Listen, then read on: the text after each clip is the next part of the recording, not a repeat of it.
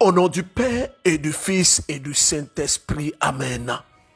Frères et sœurs, bienvenue à la semence matinale. Aujourd'hui, nous sommes le mercredi 9 octobre 2024. Mon nom est le berger Élisée Dossa dit Wendkuni. Wendkuni veut dire Dieu donné. Aujourd'hui, je vais vous montrer quelque chose.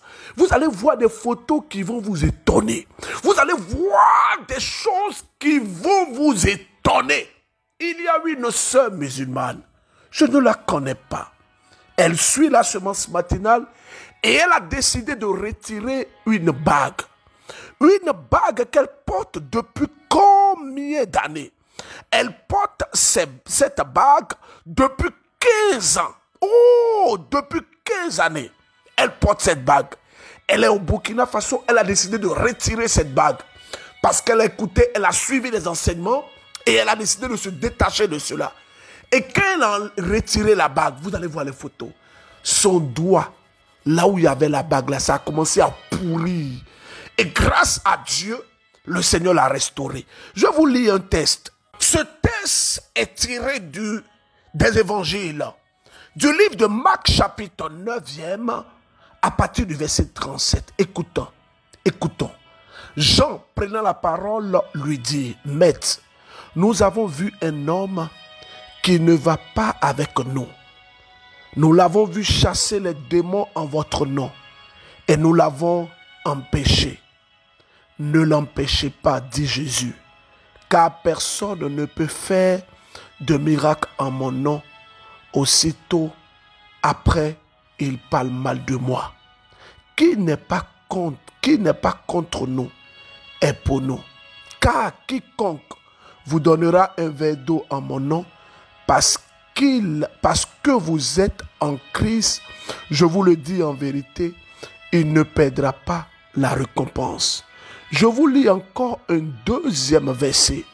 Matthieu chapitre 12, à partir du verset 22. Écoutez très bien. Des gens amenaient à Jésus un homme qui était aveugle et muet à cause d'un esprit mauvais. Jésus le guérit, alors l'homme se met à parler et il voit clair. Toutes les foules sont très étonnées et elles disent, cet homme est peut-être le fils de David. Mais quand les pharisiens entendent cela, ils disent, cet homme ne chasse pas les esprits mauvais, cet homme ne chasse les esprits mauvais qu'avec le pouvoir de Satan, le chef de ces esprits-là.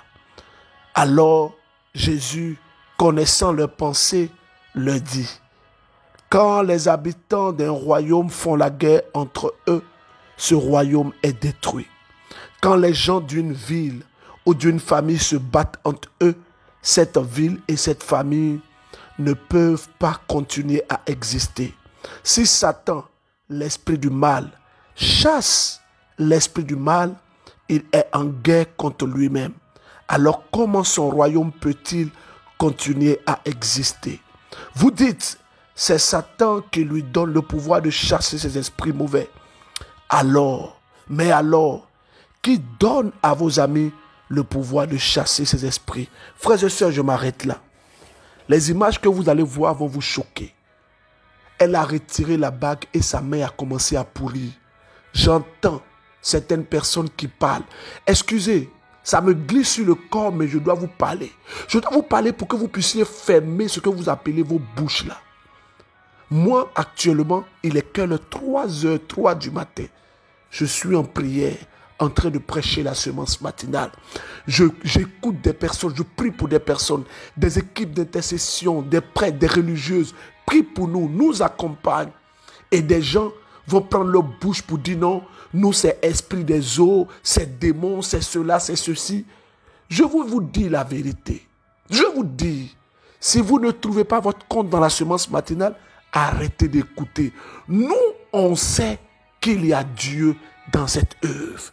Et nous sommes attachés à Dieu.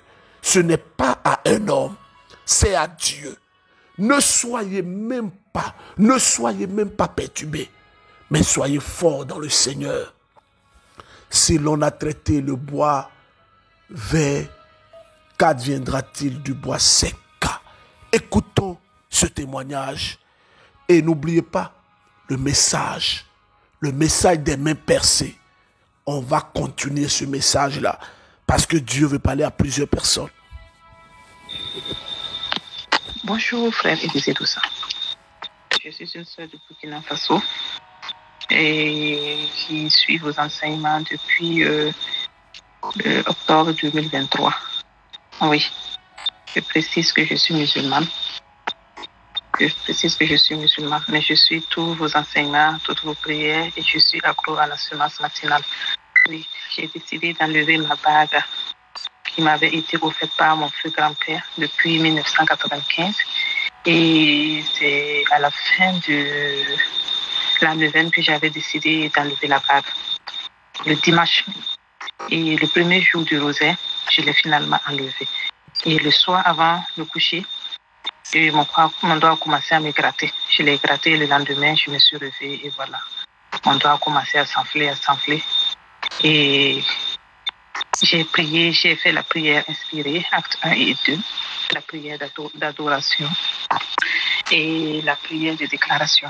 Oui, je vais mieux. Les images, je vais vous les envoyer. Elles sont un peu choquantes. Et, mais je suis sûre que ce que Dieu a fait pour moi, il va l'achever. Les images, effectivement, sont des images choquantes. Ne vous en faites pas. Aujourd'hui, j'ai décidé de prêcher. J'avais dit 15 ans, mais en fait, c'est depuis 2015. Oh Jésus, tu es bon. Bonjour, berger Élisée Doussa. Bonjour à toute la famille MCM. Je suis une sœur de Burkina, je suis une musulmane et je viens témoigner la grandeur du Seigneur dans ma vie lors de la première neuvaine. C'est vrai que c'est pas du tout simple de témoigner, mais je rends grâce à Dieu de m'avoir donné le courage et l'envie pour faire mon témoignage. Souvent, le berger disait, ceux qui ont leur témoignage et qui ne veulent pas témoigner, Dieu vous voit. Je disais que c'est de nous autres là que le berger est en train d'indexer. Au fait, je sens des présences dans mon corps. Il y a 15 ans de cela, des choses qui marchent en moi, partout dans mon corps. Et lors de la neuvième jour, le jour de la messe,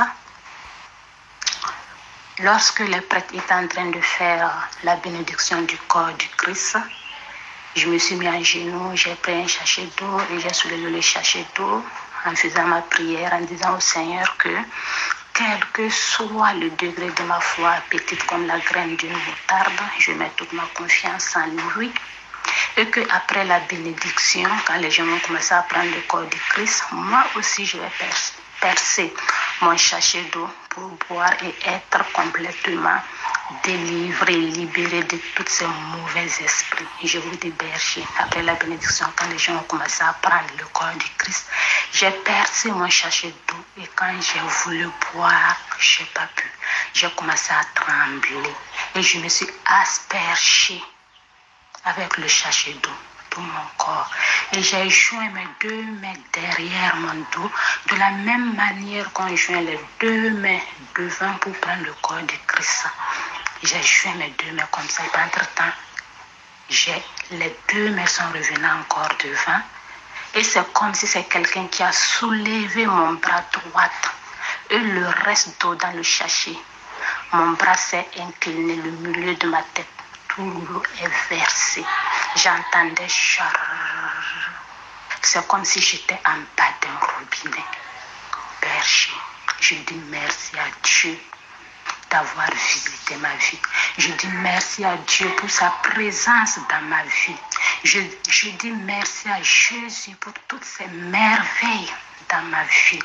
Je sais qu'il a commencé, il va terminer et que je serai complètement délivré de tous ces mauvais esprits et que un jour je serai baptisé et que je vais prendre le corps du Christ, moi aussi. Voici une sœur musulmane qui, grâce à la semence matinale, dit qu'elle espère être baptisée. Mais vous êtes comment? Qu'est-ce qui se passe? Qu'est-ce qui n'a pas marché? Oh Jésus, parle-nous. Le Seigneur est merveilleux, mon Dieu est vraiment merveilleux. Le Seigneur a fait pour moi des merveilles. Saint est son nom. Shalom, shalom famille MCM, shalom berger Élisée Dossa. Je venais rendre grâce à Dieu pour euh, parce qu'il a fait des merveilles dans ma vie. J'ai été guérie des ulcères dont je souffrais depuis 19 ans, depuis 2005 que ça m'a commencé jusqu'à maintenant.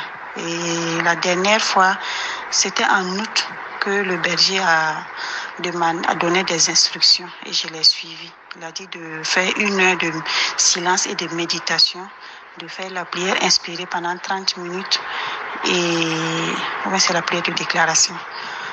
Euh, pendant 30 minutes et d'écouter les 12 titres de la chante Inès de la miséricorde. Et moi, je, je l'ai suivi, je l'ai suivi. Et ce jour-là, les ulcères ne me faisaient pas mal. Mais après avoir fini de faire les une heure, toutes les recommandations, j'ai commencé à avoir très mal. J'ai eu très très très mal plus que d'habitude. Et cela a duré pendant plus d'une semaine. Et j'étais un peu désespérée. J'ai dit, ah, j'ai dit, j'ai prié pour que le Seigneur me touche. Mais voici que j'ai plus mal que d'habitude. J'étais un peu désespérée, mais je suis restée en prière. Je suis restée en prière et ça fait plus de 9 à 10 jours de souffrance. Et après, ça s'est passé. C'est passé. Et je voulais rendre grâce à Dieu. Mon deuxième témoignage, c'était lors de la neuvaine. Il y a mon fils qui avait une boule au niveau de, en bas de son, de son aisselle. Voilà. Et quand le berger priait, je ne sais plus c'était quel jour de la neuvaine, on disait que de toucher là où ceux qui ont des boules de mettre la main. Et mon fils a mis sa main dessus et il a été guéri. C'était quel jour encore, je sais pas, c'est trois jours après cette prière-là qu'il m'a dit que non, que maman, que je n'ai plus la boule, que la boule a disparu. Donc je venais rendre grâce à Dieu pour toutes ces merveilles dans nos vies. Je sais qu'il a commencé et il va achever. Il y a beaucoup de choses que Dieu doit faire encore dans ma vie. Et... Frères et sœurs en Christ, nous attaquons maintenant notre thème du jour. Oui, oui.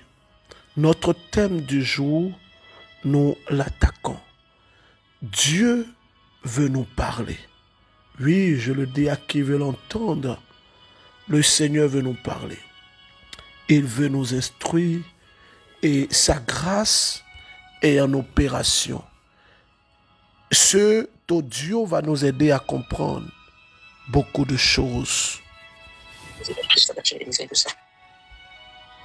Je suis une soeur congolaise vivant à Afana. Et j'espère que tout cœur que message vous trouve en bonne santé, vous et toute votre famille, la grande famille FCM. Je viens rendre grâce à Dieu, berger.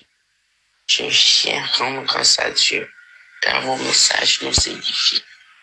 Vraiment, le Seigneur vous parle. À travers votre voix, nous pouvons nous reconnaître dans nos différents défis de tous les jours. Oui, votre message des trois ou quatre dernières semaines sur la réclamation ont été des messages forts. Et aujourd'hui encore, cette semaine, depuis la semaine passée, que vous avez encore commencé l'enseignement sur les mains percées. C'est aussi une autre, dimension que je vis personnellement. Dans, les messages de la réclamation, je me suis reconnu surtout à la fin. À la fin par les marquages. Nous avons une fois eu à manger quelque chose. Tout cela, à boire des choses. Depuis l'enfance, dans notre innocence, nous avons eu ces cas de marquage. Et en étant adultes nous-mêmes, nous sommes encore égarés dans certains lieux où on a eu à avaler certaines choses, à boire certaines potions, sous prétexte d'une protection. Et hier encore, en écoutant le, en écoutant la séance matinale, j'ai encore été touché, encore été interpellé. Quitte à celui qui, celui qui ne veut le croire, moi je le crois fermement. Pour les, le cas des potions, où on se lave les mains, où on boit quelque chose, on va quelque part sous forme de protection, on boit quelque chose. Moi, j'ai eu à vivre ça. J'ai eu à vivre ça. Mais berger, je vous le dis. Depuis 11 ans, je travaille. Frères et sœurs en Christ, comment une personne peut avoir les mains percées. Ou du moins, comment l'œuvre des mains percées ou de la main percée peut advenir dans la vie d'une personne? Comment? Comment ça peut venir? Il y a des choses qu'on fait qui nous exposent. Et ces choses, en nous exposant, elles nous rendent vulnérables. Comment? Frères et sœurs, écoutez-moi très bien. On est là pour comprendre. Lorsqu'une personne va demander une protection, lorsqu'une personne va demander de l'argent, en tout cas va demander un bien matériel ou une assistance à une divinité, la divinité va soumettre la personne à des rites ou à des rituels. La divinité, elle va soumettre cette personne à des choses que la personne doit faire. Et quand la personne elle va faire ça, elle va alors exposer ses mains des démons. Et les démons, ils vont répondre favorablement à la demande de la personne. Mais ces démons, en retour, ils vont récupérer les bénédictions de cette, de, de cette personne en mettant dans la main de cette personne des trous, des trous, des creux. C'est pourquoi nous parlons des phénomènes des mains. Frères et sœurs, permettez-moi de toucher un autre aspect. Et je crois que cet aspect va nous aider. En tout cas, ça va aider beaucoup de personnes qui veulent comprendre ce phénomène assez réel. Oh, assez réel.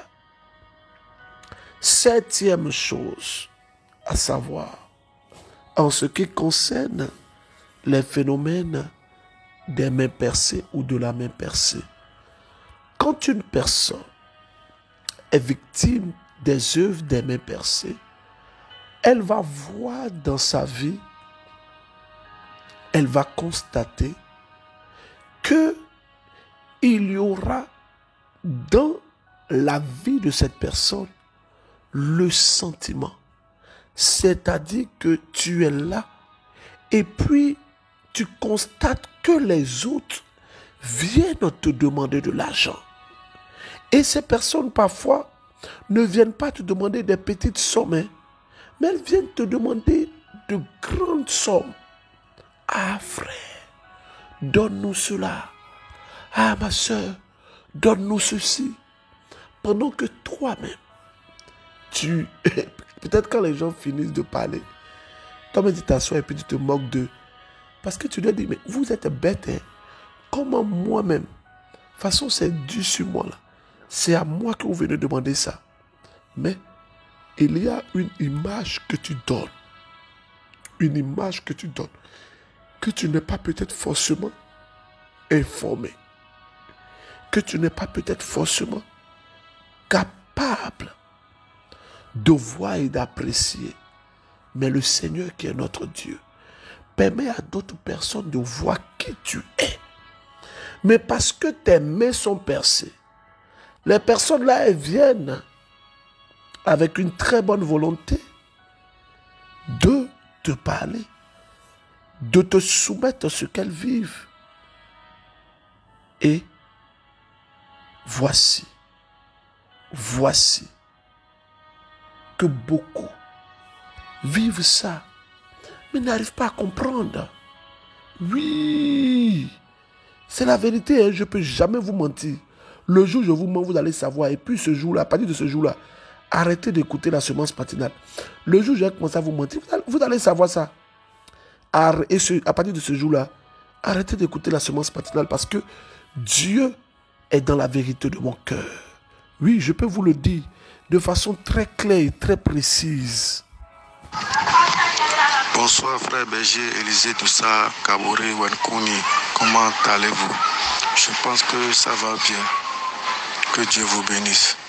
Je viens rendre grâce et gloire à Dieu le Père, créateur de toutes choses. Je viens faire ce témoignage car Dieu a encore tapé. Oui, Dieu a tapé fort. Voici le début de votre nouvelle. J'ai dit Dieu, prends le contrôle de ma vie. Oui, prends le contrôle afin que tout aille dans de bonnes conditions. Dans le deuxième jour de la nouvelle, du retour du travail, j'ai pris, j'ai pris grippe. Oui, je suis grippé. Des douleurs, fièvre partout. Ah, me déshabillant, j'ai senti une boule au niveau de mes testicules. Oh, j'ai appuyé, j'ai senti que c'est dur, dur. Oh, étant étonné, j'ai dit, bon, Seigneur, tel que je te l'avais dit, prends le contrôle de ma vie. Voici encore une autre situation.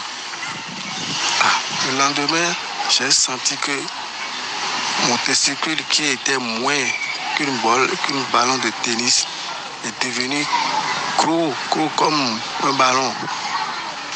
J'ai pris peur. J'ai pris la prière inspirée, acte J'ai prié, j'ai prié. Et voici que le troisième jour du, du, du quand vous avez pris la parole, vous avez dit, je sens un frère, je sens un homme qui souffre de l'aîné. Ah, j'ai dit oui, c'est l'aîné, c'est moi. Oui, c'est moi. Vous avez dû toucher.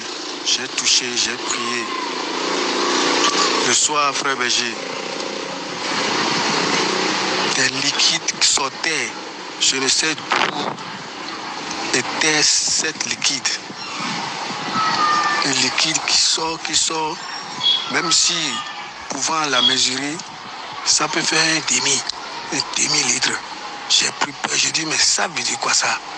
Tout était cette liquide. J'ai dit, je prends le contrôle. Et voici, j'ai pris la résolution d'appuyer, d'appuyer. Et aujourd'hui, j'ai senti que ça a diminué. Ça a diminué totalement. On dirait que c'est un miracle. Frère Béger, oh Dieu, Jésus, Jésus, oh Jésus, Jésus est bon. Il est bon. Je viens passer ce témoignage en fait que tous ceux qui, tous ceux qui ont la possibilité d'écouter semence matinale, de prendre ça au contrôle, de prendre ça pas la légère, mais de prendre ça comme potable. Oui, ça fait du bien. Mais j'ai lisé de ça. Je dis merci à Dieu le Père. Merci beaucoup. Je bénis le Seigneur. Oui, je bénis le Seigneur. Je lui dis merci. Merci à ce Dieu qui permet que nous puissions être en éveil, en prière, en méditation. Merci à toutes ces personnes qui nous soutiennent, ces personnes qui prient avec nous et qui prient pour nous. Je bénis le Seigneur et je lui dis merci. Vous savez, Dieu, c'est lui qui fait toutes choses. C'est lui. Ne vous découragez pas. Je vous demande pardon. Ne vous découragez pas. Ne vous découragez pas. Parce que le Seigneur notre Dieu, il est dans la barque. Il est dans la barque. Le Dieu que nous prions est le Dieu de la fidélité. Peu importe ce qu'a été ton histoire, à partir de demain, plaise au Seigneur, je vais vous donner les moyens pour sortir des œuvres des mains percées. Oui, à partir de demain, le Seigneur notre Dieu, il va nous rejoindre au travers de la semence matinale. Oui, il va nous rejoindre au travers de ce merveilleux moment de grâce. Seigneur, tu es bon. Oh Jésus, tu es bon. Tu es bon. Tu es bon. Tu es bon. Bonjour famille MCM. Voilà, je suis euh, Emmanuel, je suis catholique, j'habite euh, en France, je suis blanc. Euh, je suis la semence matinale depuis le début 2024. Ça m'a été recommandé par une amie que je salue très fort là. depuis dix ans, ma vie a commencé à se bloquer très fortement, de pire en pire, de pire en pire, ainsi que mes deux filles. on a été touchés et physiquement et dans nos carrières. Et pour ma part, euh, j'ai euh, depuis euh, ouais, 10 ans, doucement, j'avais une grande carrière internationale et tout s'est arrêté. Tout a été bloqué. Mais je parle de bloqué, bloqué, bloqué. Plus rien, plus rien ne marche, plus rien, plus rien. Et tout cela a fini là le 15 septembre. J'ai dû quitter euh, on m'a renvoyé de ma maison, alors que c'était c'était pas possible, mais on m'a renvoyé de chez moi et je me retrouve là depuis le 15 septembre, ce qu'on appelle en France SDF, sans domicile fixe. Mais le 15 septembre, j'ai été renvoyé et le 16 septembre, je suis arrivé chez ma maman juste pour lui dire bonjour et là j'ai reçu un coup de téléphone d'une d'une entreprise qui m'a proposé du travail. Je sais pas comment ils ont eu cette histoire, comment ils ont pu avoir mon contact. J'ai fait 800 km, j'ai été les voir et on a conclu un énorme contrat de travail pour un an.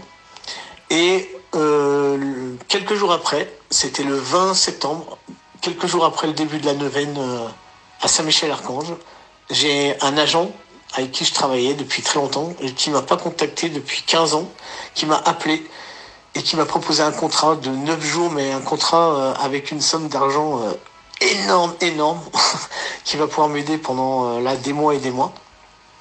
Je ne sais pas comment tout ça s'est fait. Je ne comprends toujours pas. Euh, la seule chose que je sais, c'est que je me suis abandonné à la providence de Dieu. J'avais plus que ça à faire. J'ai vraiment fait confiance et là, il a pu me porter. Je sens que parce que je me suis abandonné à cette providence, il a pu me porter. Donc euh, voilà, ma situation, celle de mes filles, est loin d'être finie. On est encore, euh, voilà, on a encore énormément de problèmes physiques et pour notre carrière, c'est encore très bloqué, mais voilà, on continue à se battre et je pense que ce que Dieu a commencé va le finir. Donc, euh, mille merci à Dieu, mille merci à Dieu pour tout ce qu'il a fait, mille merci pour sa providence.